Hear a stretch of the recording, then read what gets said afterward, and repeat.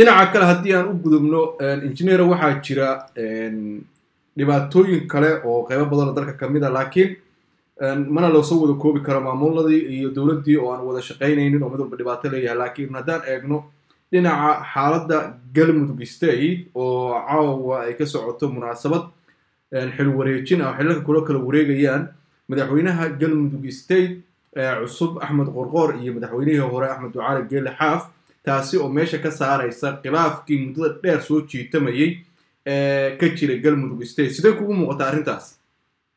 Maxamedow arrintaas waa arrin lagu farxo waa arrin wanaagsan waa arrin yadidiilo cusub dhalinaysa. Runtiina anigu axmed qorqoor aad baan u ammaanayaa aad baan ugu ammaanayaa sida magaranaysa dulqaadka faraha badan leh ee uu muujiyey.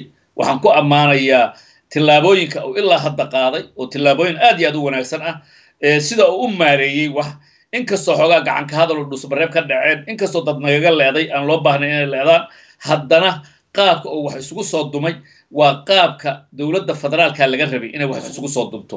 Waxaan qabaa dowladda federaalka axmed qorar wax badan bay ka baran karaan talooyin badan bay ka qaadan karaan in maanta waa markii loo baahnaa in mucaarad iyo maxaafid meel la isugu keeno waa run xilwareejintii caawa ayay dhacaysaa inkastoo runtii cudurkan aawada aysan dad badan imaan karin.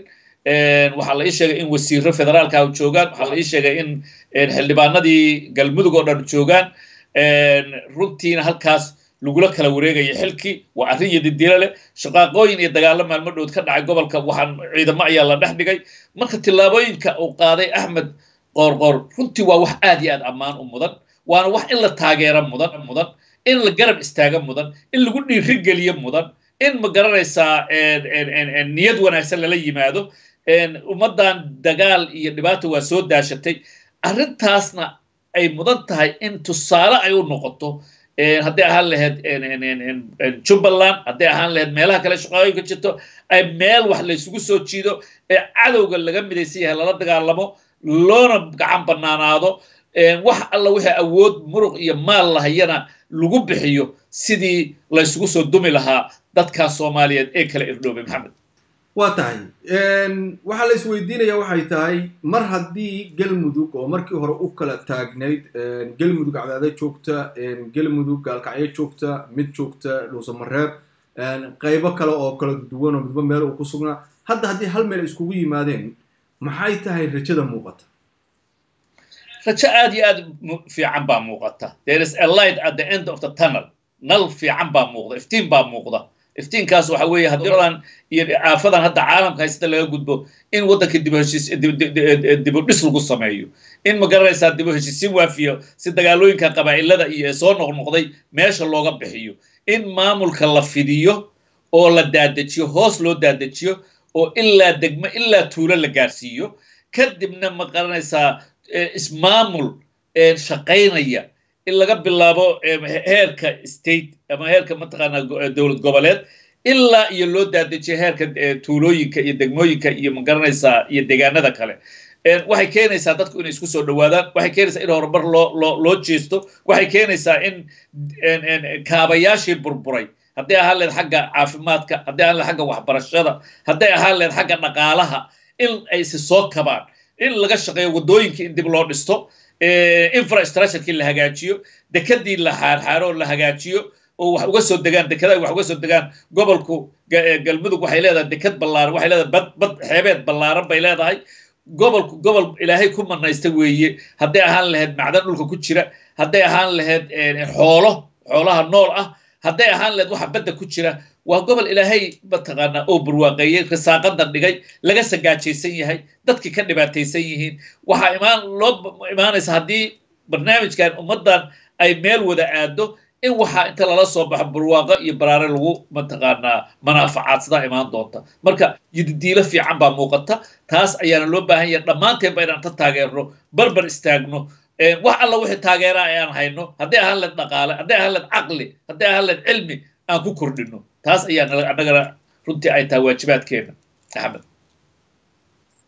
Dheere xaaladda waa la socotaa oo waxaa jirtay axmed ducaali geela xaaf oo kale waxaa hadda uu ka yimid magaalada gaalkacyo oo halkaasi uu muddo ku sugnaa uu sheegay in galmudug uu halkaasi ku dhisay. Hadda markii uu yimid kadib waxa uu sheegay inuu tanaasulay.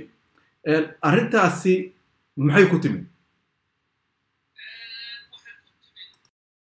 Jabnaanta iyo ma garanaysaa hambalnimada axmed qoorqoor waxay ku timid dabqaadka iyo qaabka uu wax u maareeyey ku timid. Hadday ahaan lahayd culammadii ahlu sunnada ay meesha isku dileen hadday ahaan lahayd magaranaysa dadkii ka soo horjeeday hadday ahaan lahayd xildhibaanadii federaalka inuu inta meel isugu soo jiido oo runtii hordhigo yidhahdo war waxa waa wada leenahay aan wada maamulano qof walba huna door buu ku leeyahay doorkiisa kaala ha qaato. Taas ayaa keentaan aaminsanahay. Xaafna taas ayuu yaqiinsaday. Saan anigu aaminsanahay inkastoo dabqaadka rag badan ay ka shaqeeyeen oo cabdi qaybdid ka mid ahaa haddaan qof magacaabo xildhibaanada kale ay ka mid ahaayeen mahad salaad iyo rag baa jiray runtii arrintan xoog uga shaqeeyey fiqi baa jira asaguna.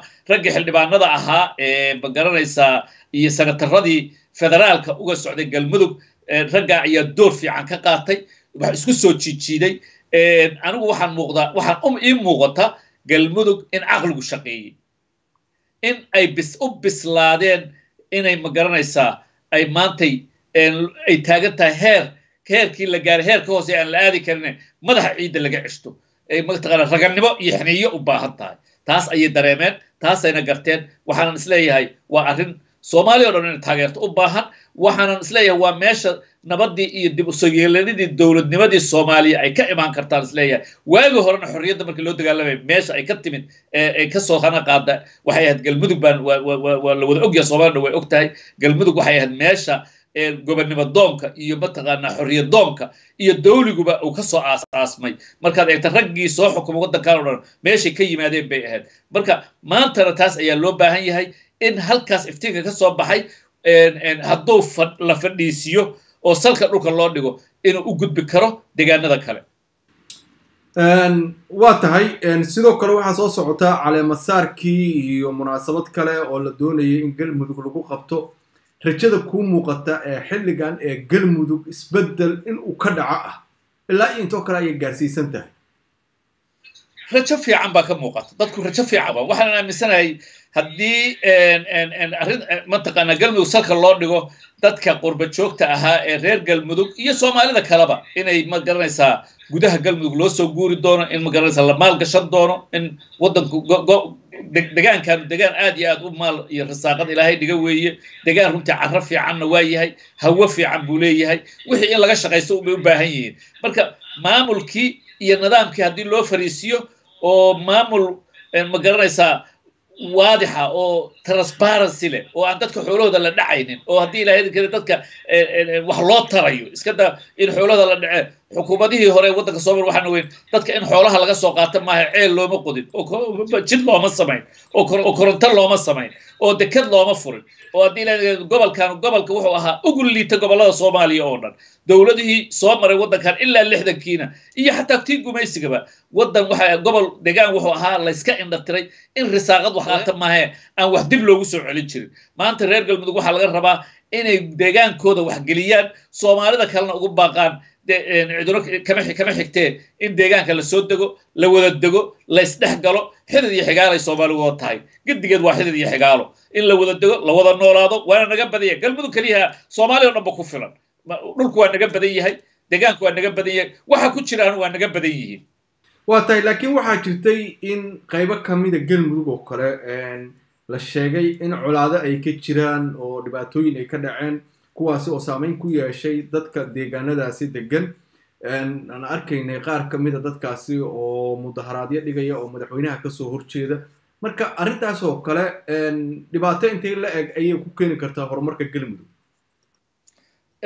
Runtii anigu waxaan is leeyahay wax saas hadda u sii weyn ma ahayn. Waa maqlayay mataqaanaa meesha dagaalo xoogaa qabaa'ila jifooyina meesha ku diriray runtiina dagaalka qabiiliga ah dhowr siyaaboodba waa ku yimaadaa maxamedow. Aana qabiil buu ku imaan karaa oo dad hore aanooyin isuqa buu ku yimaadaa daaq buu ku yimaadaa baraago ku yimaada baraagaha lakala meelaha laga dhisay ku yimaadaa halka baraag reer hebel kama qodan karaan ama hebel baraag kama qodan karo. Waxyaabo noocaasa. Waxaas oo dhan waxaa baabi'inaya maamul iyo nidaam iyo kala dambayn hadday yimaadaan. Daaquna dadku waa ku filan yahay deegaankuna waa ku filan yahay waana ka weyn yahay. Marka meesha waxa keliya ee jirta waxa la yidhahda law and order. Sharcigii baan meesha shaqaynaynin. Qofka dembiga gala ayaan dembigii sharciga la marsiinaynin. Haddaan baranno reer galmudugna ay soomaali u horseedaan in qofka sharciga la marsiiyo. Cidduu doona ha u dhasho cidduu kala meeshuu doona ha ka soo jeedo in sharciga la marsiiyo. Oo xeerka inoo yaalla iyo mataqaana hadduu alla kan diintu noo dhigtay iyo hadduu alla kan xeera annagu aan ku heshiinaba haddaan mataqaana qofkii la marsiinayo waxaanoo dhan way dhammaan lahaayeen. Marka meesha waxaa ka maqan xukun nidaam dawli ah oo gacanta ku dhiga kalana xukuma dadka dadkana wax u tara oo dadku ay arkaan dawligu horta inuu waxtar leeyahay. Saan kuusoo sheegaba deegaanka galmudug weligood may arag dowlad waxtarnimadeeda may arag. Marka in dib loo tuso in dadkii la abaabulona waa la rabaa la jafo la abaabulo la tuso in horumar la hiigsanayo oo nolosha hadda layso nolol ka fiican la heli karayo haddii laysku duuban yahay. Taas wey tan loo baahanya maxamed.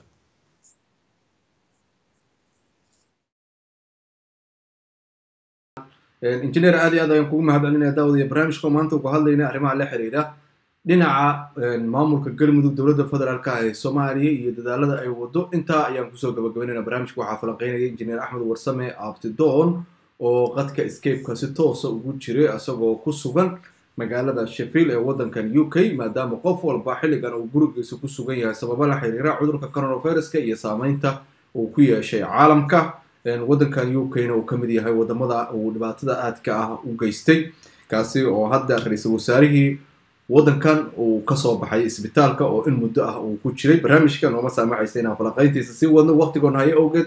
Aad iyo aad ayaa injineer kugu mahad celinaya daawadayaal intaa ayaan barnaamij ku soo gogobeyna barnamijka waxaa idinla socodsiinayay anigoo maxamed cabdisalaada intaa barnaamijkan barnaamijka kulmi doona sidaa iyo nabadgelyo wasalaamu calaykum waraxmatullaahi wabarakaatu